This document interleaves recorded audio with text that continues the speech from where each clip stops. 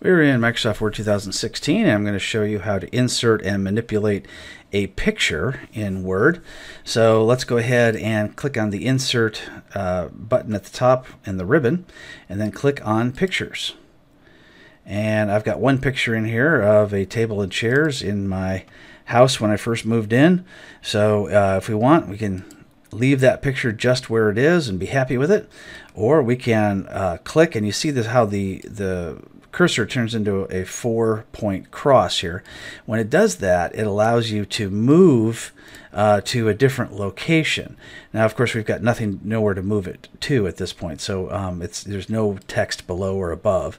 But uh, you know, if you did have that, you could move it back and forth or up or down.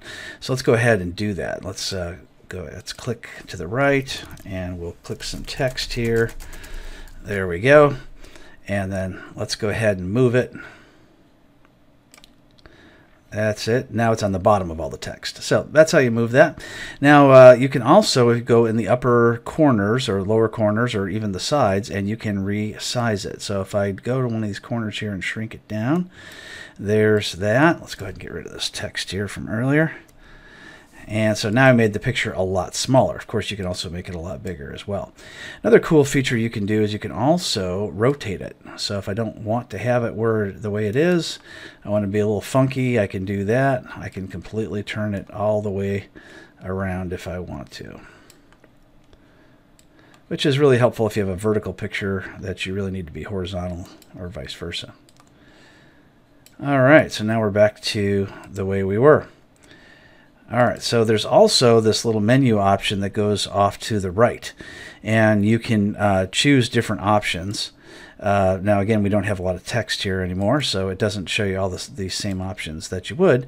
Uh, but you can uh, tell it to move with the text, which is what we have it set to by default. You can fix the position on the page, so no matter what, it's going to stay right there, and uh, it's not going to move. So you can also uh, click the See More button, and you can change the alignment to be left, right, whatever, centered, you know, that kind of thing. And you can see it moved off to the right, which was nice. And let's go ahead and see some more options. We can uh, go with uh, the position. You can change it by inches, or you can align it to the top, or you can align it to the center. So you can now we're in the center of the page, but it's off to the right. So lots of different options here with this little drop down menu and when you start adding text which makes it kind of nice. And um, you can also allow overlap as well. And if you want you can put text wrapping uh, to wrap in front of the so the picture has text over it if you want. You can send the picture to the background to the foreground however it is you would like to do it so that is how to insert a picture and manipulate uh, the picture a little bit and do, make, do some different changes to it in Microsoft Word 2016.